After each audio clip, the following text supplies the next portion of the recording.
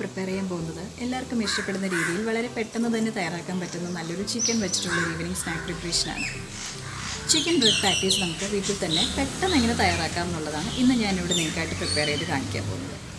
Chicken bread patties നമ്മൾ ആദ്യം തന്നെ ക്രീമി ആയിട്ടുള്ള ചിക്കൻ വെച്ചിട്ടുള്ള ഒരു ഫില്ലിംഗ് തയ്യാറാക്കുക. അതിനുശേഷം നമ്മൾ ബ്രെഡ് സ്ലൈസിനെ കട്ട് ചെയ്ത് ആ ഫില്ലിംഗ് നമ്മളതിൽ ഇൻസേർട്ട് ചെയ്ത് ഫ്രൈ ചെയ്ത് തയ്യാറാക്കുകയാണ്.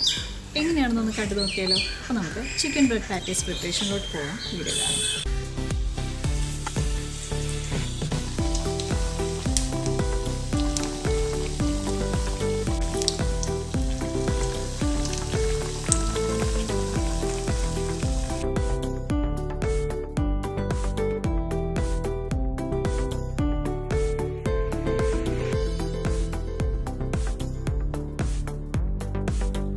ഇപ്പം നമ്മൾ ബ്രെഡ് ചിക്കൻ പാറ്റീസ് തയ്യാറാക്കാനായിട്ട് ആദ്യം തന്നെ ഒരു പാൻ അടുപ്പിൽ വെച്ചിരിക്കുകയാണ്.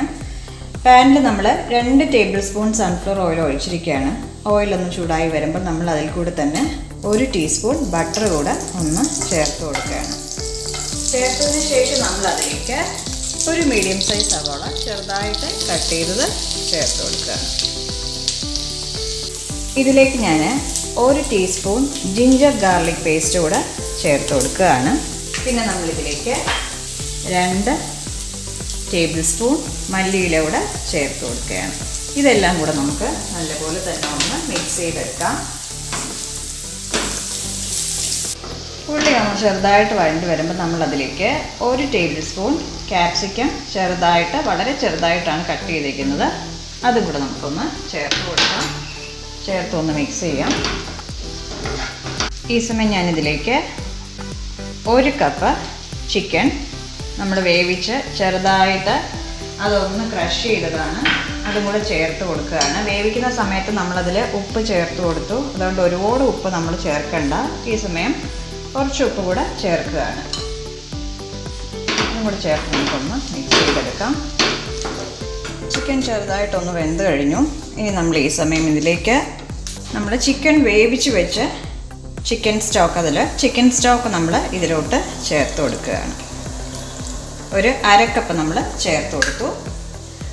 അതിൽ കൂടെ തന്നെ നമ്മൾ ഒരു ടേബിൾ സ്പൂൺ ചില്ലി ഫ്ലേക്സ് കൂടെ ചേർത്ത്. ഇനി നമ്മളതിലേക്ക് ഒന്നര ടീസ്പൂൺ കുരുമുളക് പൊടി കൂടെ ചേർത്ത് കൊടുക്കുകയാണ്. ഇതെല്ലാം കൂടെ നമുക്ക് നല്ലപോലെ തന്നെ ഒന്ന് മിക്സ് ചെയ്യാം. ഇനി നമ്മളിതിലേക്ക് ഫ്ലെയിം നല്ലപോലെ തന്നെ കുറച്ചതിന് ശേഷം ഒരു ഒന്നര ടേബിൾ സ്പൂൺ മൈദ കൂടെ ചേർക്കുകയാണ്. ചേർത്ത് നമുക്ക് നല്ലപോലെ തന്നെ ഒന്ന് മിക്സ് ചെയ്തെടുക്കാം. എന്നിട്ട് നമ്മളിതിലേക്ക് അരക്കപ്പ് പാൽ ചേർത്ത് കൊടുക്കുകയാണ്. ഉപ്പൊന്ന് ചെക്ക് ചെയ്യണം ഈ സമയം നിങ്ങൾ ഈ സമയം ഞാനിതിലേക്ക് ഒരു ഹാഫ് ടീസ്പൂൺ സോയ സോസ് കൂടെ ചേർത്ത് കൊടുക്കുകയാണ്. ഒരു one by four teaspoon vinegar കൂടെ ചേർത്ത് കൊടുക്കുകയാണ്. ഒന്നുകൂടെ ഒന്ന് മിക്സ് ചെയ്യാം. ഫ്ലെയിം നല്ലപോലെ തന്നെ ഒന്ന് കുറച്ച് വെക്കണം. ഇപ്പം നമ്മുടെ ചിക്കൻ പാറ്റീസിനുള്ള ഫില്ലിങ്സ് ഇവിടെ റെഡിയായി കഴിഞ്ഞു. ഇനി നമുക്ക് അടുത്ത പ്രിപ്പറേഷനിലോട്ട് പോവാം. ഈ ഒരു തിക്നെസ് ആയിരിക്കണം. ഒരുപാട് ടൈറ്റ് ആയിക്കൂടാ. അതുപോലെ ഒരുപാട് ലൂസും ആയിക്കൂടാ. ഇനി നമ്മുടെ ബ്രെഡ് പാറ്റീസിന് ആവശ്യമായിട്ടുള്ളത് ബ്രെഡ് തന്നെയാണ്. ഇപ്പം ബ്രെഡിന് നമുക്ക് ഓരോ സ്ലൈസിനെയും നമുക്കൊന്ന് കട്ട് ചെയ്തെടുക്കണം. ഓരോ ബ്രെഡും ഞാൻ നമ്മുടെ പുട്ട് മേക്കർ വെച്ച് കട്ട് ചെയ്യുകയാണ് അല്ലെങ്കിൽ നിങ്ങൾക്ക് ഏതെങ്കിലും ലിഡ് വെച്ച് കട്ട് ചെയ്യാം. അല്ലാന്നുണ്ടെങ്കിൽ കട്ടർ വെച്ച് നമുക്കത് കട്ട് ചെയ്യാവുന്നതാണ്. നമുക്കിനി ഓരോന്നായിട്ടത് കട്ട് ചെയ്യുന്നത് എങ്ങനെയെന്ന് നോക്കാം. നമുക്കെല്ലാം ഇതുപോലെ കട്ട് ചെയ്തെടുക്കാം. നമ്മൾ എല്ലാ സ്ലൈസും ഇതുപോലെ കട്ട് ചെയ്തെടുത്തു. ഇനി നമുക്ക് നമ്മൾ കട്ട് ചെയ്ത ആ ബാലൻസ് അത് നമുക്ക് ബ്രെഡ് ക്രംസ് എടുക്കുന്നതിന് വേണ്ടി നമുക്ക് മിക്സിയിലിട്ടൊന്ന് പൊടിച്ചെടുക്കാം. ഇപ്പം ബ്രെഡ് ക്രംസ് ഇവിടെ റെഡിയായി കഴിഞ്ഞു. പിന്നെ നമുക്ക് ആവശ്യമായിട്ടുള്ളത് മുട്ടയാണ്. അപ്പം ഞാനിപ്പോൾ ഒരു മുട്ടയാണ് ബീറ്റ് ചെയ്ത് എടുത്ത് വെച്ചിരിക്കുന്നത്. നമ്മുടെ ആവശ്യം അനുസരിച്ച് നമുക്ക് മുട്ട ചേർക്കാവുന്നതാണ്. അപ്പം നമുക്കിനി പാറ്റീസ് പ്രിപ്പറേഷനിലോട്ട് പോവാം. അതിനായിട്ട് ഞാനിവിടെ രണ്ട് സ്ലൈസ് ബ്രെഡ് എടുത്തിരിക്കുകയാണ്.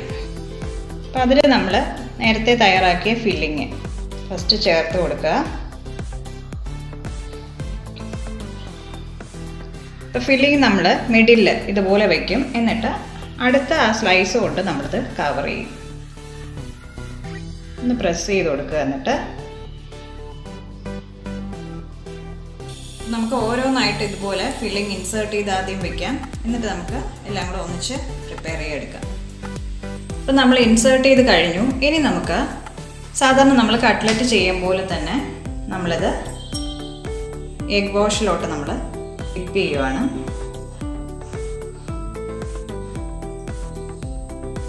എന്നിട്ട് നമ്മൾ ബ്രെഡ് ക്രംസിലോട്ട്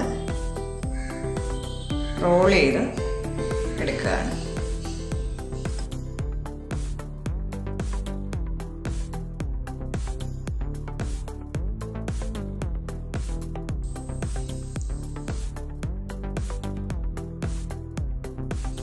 അപ്പം നമുക്ക് ബാക്കിയുള്ളത് ഇതുപോലെ തന്നെ ഒന്ന് എല്ലാം ഇതുപോലെ ബ്രെഡ് ക്രംസിലൊന്ന് ഡിപ്പ് ചെയ്ത് നമുക്ക് മാറ്റി വെച്ചതിന് ശേഷം ഫ്രൈ ചെയ്യാം. ഓയിൽ നമ്മൾ ചൂടാക്കാനായിട്ട് ഈ സമയം റെഡിയാക്കി വെക്കണം.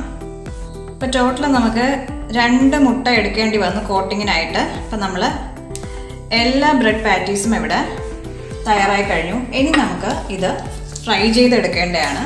ഓയിൽ അവിടെ റെഡിയായിട്ടുണ്ട് നമുക്കിനി ഓരോന്നായിട്ട് ഫ്രൈ ചെയ്തെടുക്കാം. ഓയിലോട്ട് നമുക്ക് അങ്ങോട്ട് ഫ്രൈ ചെയ്യാനായിട്ട് ഇട്ട് കൊടുക്കാം.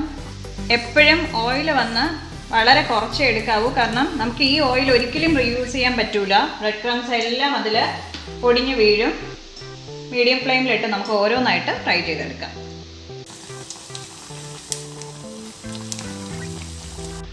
നമുക്ക് തന്ന് തിരിച്ചിട്ട് കൊടുക്കാം. രണ്ട് സൈഡും ഒരു രണ്ട് മൂന്ന് പ്രാവശ്യമെങ്കിലും ഒന്ന് തിരിച്ചിട്ട് കൊടുക്കണം. ലൈറ്റ് ബ്രൗൺ കളർ ആകുമ്പോൾ നമുക്കിത് ഓയിലിൽ നിന്ന് റിമൂവ് ചെയ്യാം. ഫ്ലെയിം നല്ലപോലെ തന്നെ കുറച്ച് വെച്ച് കൊടുക്കണം. മീഡിയം ഫ്ലെയിമിലായിരിക്കണം കരിഞ്ഞു പോകും അല്ലെങ്കിൽ?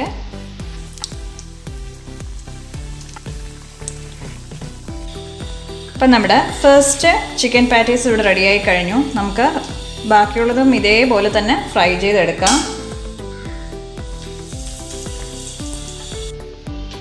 അപ്പം നമ്മുടെ ലാസ്റ്റ് ചിക്കൻ പാറ്റീസും ഇവിടെ റെഡിയായി കഴിഞ്ഞു. നമ്മളിത് ഫ്രൈ ചെയ്ത് ഓയിലിൽ ഫ്രൈ ചെയ്തെടുക്കുന്ന ചിക്കൻ പാറ്റീസാണ് നമുക്ക് ഇനി ഇതെങ്ങനെയാണെന്ന് നോക്കാം. എങ്ങനെയുണ്ടെന്ന് നമുക്കൊന്ന് പൊട്ടിച്ച് നോക്കാം ഇതിനകത്ത്. കണ്ടോ? നമ്മൾ ഇൻസേർട്ട് ചെയ്ത് ഫില്ലിങ്സ് എല്ലാം കറക്റ്റായിട്ട് എല്ലാ സ്ഥലത്തും എത്തിയിട്ടുണ്ട്. ആവശ്യത്തിന് ഫ്രൈ ആയിട്ടുണ്ട്.